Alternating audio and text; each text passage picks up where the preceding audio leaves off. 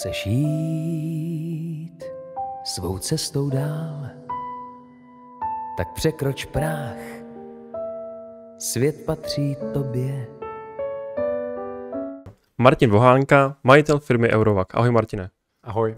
Ty máš za sebou velmi čerstvě večerní část programu Křeslo pro hosta. Jednoduchá otázka. Jaký to bylo?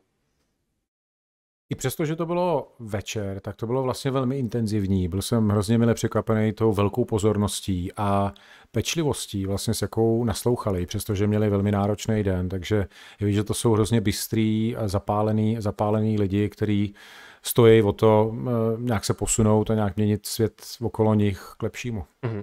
Poznal jsi na nich nějakým způsobem, že jsou z dětských domovů a podobného prostředí? Ne, to vůbec, to, to by mě nenapadlo. Jo. Uh-huh, Kdybych to nevěděl předem, samozřejmě. Jasně, jo. jasně. Uh, ty, když jsi začínal podnikat, tak jsi mimo jiné musel vybrat parťáky. I my, žluťásci, jsme ve věku, kdy si budeme vybírat první zaměstnance, první parťáky. Na co si máme dát pozor? Je přirozený, že budeme šahat po lidech, který známe ze svých okolí, po svých kamarádech, eh, příbuzných, blízkých a podobně. Eh, důležité je si uvědomit, že jestli vlastně když už teda s někým jdeme a budeme se dělit na půl, budeme všechno prožívat společně, jestli vlastně je tam nějak, jestli se doplňujeme nějakým způsobem vzájemně. Jo? Já třeba jsem dobrý salesu, on je dobrý ajťák, nebo on naopak dobře něco umí vyrobit. Doplňujeme se? To je první otázka, kterou by se klad. Um, druhá je, že my vlastně ty právě ty lidi okolo nás poměrně dobře známe. Známe je daleko líp než učitelé, než eh, dokážou prozradit jakýkoliv testy. Víme, jestli třeba ten náš spolužák odčurává, když píše domácí úkoly a když se dělají zkoušky a podobně, nebo naopak, jestli je pečlivý, jestli je rychlej, jestli udělá takzvanou tu extra míli. A to se dá vlastně předpokládat, že vlastně tady ty kvality, které projevoval doteďka, se projeví i v tom podnikání. A zase si položíme otázku, je to vlastně něco, co si dokážu představit, že bude funkční. Takže chce to vlastně takovýhle úplně základní vlastně ošahání si toho terénu a, a, a položit si tady ty otázky. Myslím si, že nám to pomůže možná se vyhnout úplně největším katastrofám, ale i přesto, že uděláme, řekněme, takovýhle, si řekneme upřímně tím kamarádem nebo uděláme tady to upřímné zhodnocení, tak nemůžeme odpovědět na všechny otázky. Jo. Takže na co je potřeba se připravit, že v tom podnikání pak se bude dít to, že můžeme mít pocit, že děláme víc, že tady asymetrie, že třeba programování je cenější než prodej a podobně. Ono to tak máme, to v takové lidské přirozenosti, vážit si ty své práce o trochu víc než, než těch ostatních. No a pak je to i vlastně určitý velkorysosti v tom vztahu. Jo. O tom připravit se na to, že tady bude asymetrie a pokud tam vlastně ta velkorysost určitá míra není, tak eh, to může vlastně narážet, může to jiskřit, Někdy to je produktivní konflikt, ale mnohdy to končí i špatně a vlastně, že perspektivní firmy se rozpadají, protože ty lidi vlastně eh, nejsou schopní se překonat přes vlastní nějaký sebeklám nebo přes nějakou sobeckost nebo, nebo prostě zkrátka toho neschopnost akceptovat rozdíly. Uh-huh. A zkusíš popsat ten tvůj podnikatelský příběh, jak to vlastně začalo? Já jsem uh, si začal přivydělávat už na střední škole a vlastně takovou, takovým vlastně samostatným podnikání se dalo mluvit někdy už v 17 letech, kdy jsem začal prodávat životní pojistky. Psal se rok 92-3, kdy ještě nebyly žádné licence, nic takového speciálního. A to, co já jsem teda dělal, že jsem vlastně měl kontrakt, zavřel jsem kontrakt s nějakou pojišťovnou, s nějakým brokerem a začal jsem chodit, já jsem z mostu, tak jsem začal chodit panelák od paneláku a když jsem se teda už dostal dovnitř, když mi někdo otevřel, to bylo bingo, že tam bylo že nějakých 16 bytů, eh, záleželo na velikosti a já jsem to vzal od zhora dolů a zvonil jsem byt po bytu a říkal jsem, dobrý den, já jsem Martin Movánka, já bych vám rád nabídnul životní pojištění, chtěli byste si o tom promluvit? No a uh, ejhle, eh, byl jsem velmi úspěšný. Zjistil jsem, že mi to jde, že i přes ten věk, i přes tu, um, ten zvláštní způsob vlastně prodeje, tak jsem byl úspěšný, vydělával jsem peníze a to mě přivedlo vlastně na myšlenku, že bych vlastně mohl zkusit něco takového dělat dál. A tak jsem opustil vlastně mm, ideu studia na vysoké škole ekonomické, na kterou jsem si připravoval. Jel jsem sice na ty zkoušky, ale už jsem je neudělal, protože jsem byl už mentálně prostě někde jinde. Věděl jsem, že to pojišťování, že nějaký svůj vlastní biznis, že v tom chci pokračovat. Takže jsem si pak otevřel svůj vlastní kancelář, už jsem nechodil po bytech, lidi chodili za mnou, ale to podnikání i přesto, i přesto určitý inovace, to, že jsem to trošku posunul, tak to nebylo dostatečné a vlastně to podnikání jsem zavřel po roce. No a tak vlastně jsem čekal na nějakou další ideu, co mě, co mě spadne jako, um, že jo, princezně tři oříšky do, uh, spadly uh, eh, ze stromu, tak ehm, mně vlastně spadla idea, která byla možná i vlastně logická, protože já už jsem zmínil, že jsem z mostu a vedle je velká rafinerie a tak bylo přirozený hm, přemýšlet o tom, jestli bych něco nemohl dělat s tou rafinerií, nějak obchodovat. A tak jsem vlastně začal prodávat produkty z rafinerie, ale ten příběh se dál vyvíjel, eh, dál hm, rozvíjel, prohluboval a vlastně to, co Dneska děláme, že nabízíme vlastně služby mezinárodním kamionovým firmám, takže s náma platí za všechno, za, za nafty, za, za míta, sledují vozidla, navigují, dostávají práci, eh, pomáháme jim financovat jejich provoz. Takže vlastně takový ucelená platforma služeb pro mezinárodní kamionovou dopravu a dneska vlastně skutečně po celé Evropě. Za kamerou ten, koho diváci nevidí, je Zdenda. A Zdenda je taky z mostu a povedlo se mu vypracovat. A ta otázka zní, jestli když se narodím v centru Prahy, nějaké průměrné rodině, no v dnešní době v centru Prahy, když se narodím v Praze, průměrné rodině, versus když se narodím v Mostu, mám objektivně stejné šance? Já si myslím, že rozhodně. Jo, ono to je vlastně, dala by se použít i paralela uh, 90. roky versus mhm.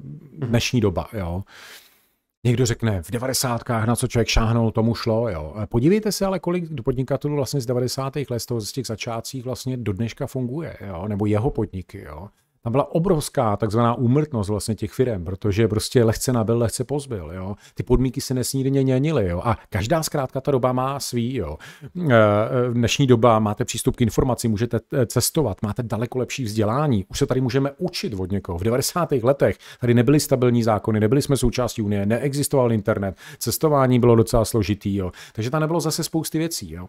A když to teda vezmu zpátky k tomu příkladu Most versus Praha, Víte, někdy se říká, že vlastně z těch tvrdých podmínek jo, to vlastně člověka donutí na sobě daleko víc pracovat. Jo, že vlastně ta pohodlnost určitá, pokud se narodíte do super podmínek, do bohatého prostředí a tak dál, tak vás tolik nestimuluje, jako když se narodíte vlastně v tvrdých podmínkách, kde na sobě musíte víc makat. Jo. Takže já bych řekl, že každý má, každý má svoje. Mm-hmm. Ale šance jsou stejný. OK, OK. Uh, nechci teďka kecat a kazit historie. Já myslím, že to řekl Churchill, že špatné časy dělají silné muže. Tak. Dobré časy. Díky, to krásně dělaj, na to sedí. Jasný. Dělají slabé muže. Myslím, že v tom máš pravdu. A vzpomenej si na tvou největší podnikatelskou chybu?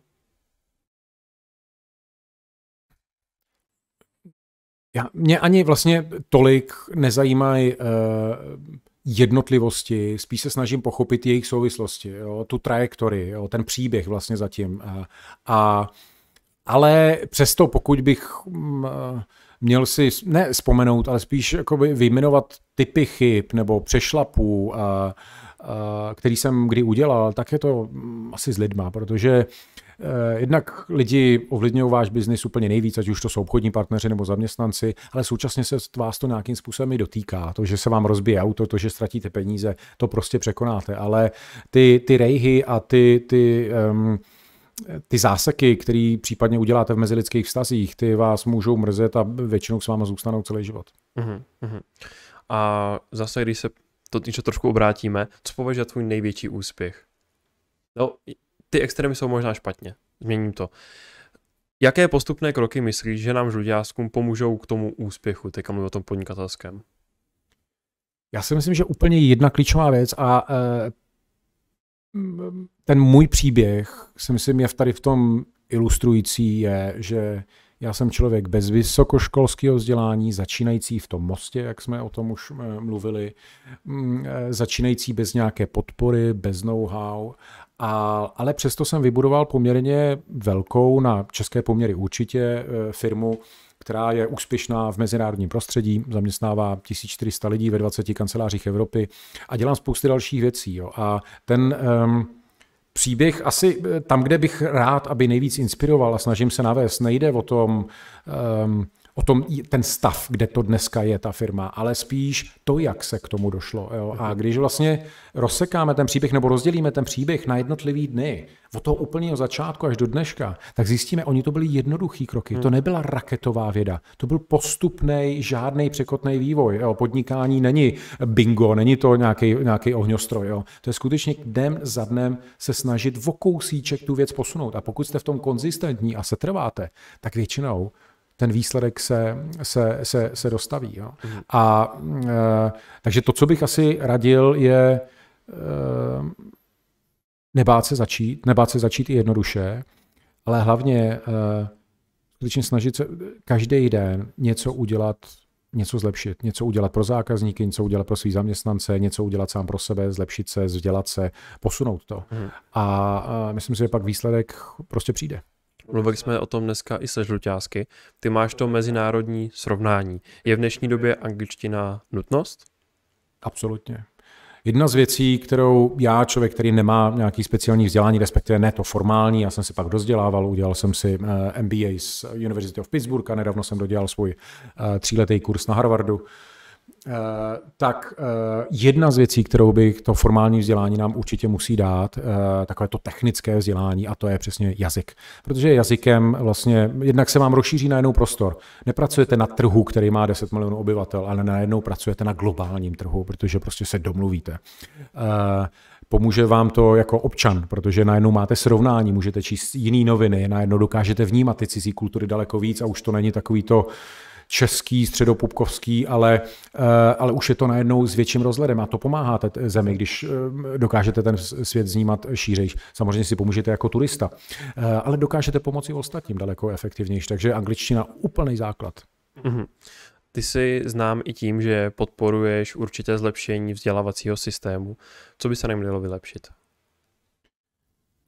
Těch věcí je skutečně celá škála. Jo? A to, co vlastně dělám, že prostřednictvím organizací, takzvaných neziskovek, který mají expertízu, tak se snažíme vlastně docílit systémových změn. A ono jich musí být několik. Jo? A když si představíte jenom několik těch dimenzí vzdělávacího systému, jsou to různý stupně, že jo? jo? jsou to školky, řekněme, ale řekněme základní vzdělávací stupně, základní školy, střední, vysoké školy, tak tady máte ty různý stakeholdery, takzvaný, který k tomu přispívají. Jo, to jsou rodiče, to jsou učitelé samotní, to jsou ředitelé, to jsou zřizovatelé škol, jsou to pedagogické školy. A každá z nich si nese nějaký, nějaký dědictví minulosti. A to, co pořád je realitou převládající, byť je tady spousty ostrůvku pozitivní deviace soukromých škol a nadšených ředitelů, kteří ve státním, ve státním prostředí dokážou dosáhnout skvělých výsledků, ale přesto to pořád není škálovatelný, přesto to jsou skutečně ostrůvky pozitivní deviace. A to, o co jde, je vlastně vymanit se z toho konceptu toho takzvaného tereziánského školství, protože skutečně to školství český je, eh, je eh, má, má, si nese právě tady tu, ten charakter a Eh, to, co tam schází, je spousty věcí. A teď budu mluvit o tom výsledku, jo? to, co dostáváme jako studenti tady těch škol. Jo? Tak za prvý, um, třeba já to vidím dneska ve firmě, že lidi ne, nejsou schopní mít otevřený dialog, dát mm-hmm. feedback, mluvit otevřeně. A místo toho pak kde mluví? V kuchyňkách, na chodbách, Jasně. pomlouvá se. A nemluví se o problémech skutečně na tom, protože vlastně v českém školství to je taková ta frontální výuka. Jo? Mm-hmm. Učitel nám něco řekne a dostanete jedničku, když to dobře zopakujete nebo když to dobře zapíšete při eh, zkoušce. Že jo? Jo? To není dialog, jo? to není o syntéze informací.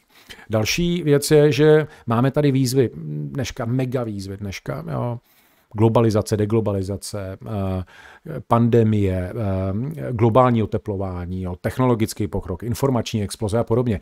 A školství na to vlastně nenabízí vlastně skoro žádný odpovědi. Jo. A, a pak vlastně lidé to hledají kde? Na Facebooku, u kamarádů a tak dále, kde můžou teoreticky najít správnou informaci, ale stejně tak je tam spousty vlastně eh, dezinformací a nánosů, který vlastně akorát lidi zmatou. Jo. Takže to ukazuje vlastně, že to školství vlastně ano, dokáže nám, nás naučit jedna a jedna jsou dvě a vlastně tady ty základní technické eh, znalosti, ale vlastně jak se orientovat v tom světě, jak vlastně jak, jak, si, jak se provést tu syntézu vlastně všech těch různých informací a udělat si z toho nějaký solidní obrázek o světě, v tom nám vlastně školství nepomáhá. A poslední věc, kterou bych zmínil, a to je hodnotový vzdělávání. Jo.